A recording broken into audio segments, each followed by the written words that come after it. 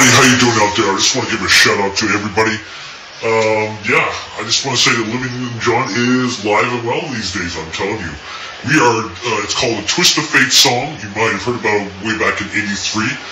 Uh, Olivia Newton John is still around to this day. She's a singer from the early '70s and onward. And uh, I just want to give a shout out to uh, to you people out there. Uh, she did many movies in the early '80s and early 80s for John Travolta, if you guys don't know. Uh, he was also an actor from Saturday Night Live, or Saturday Night Fever. And uh, they teamed up together in a movie called uh, uh, Two of a Kind, if you guys would know that. Um, so Olivia Newton-John is still around to this day, folks. I kid you not.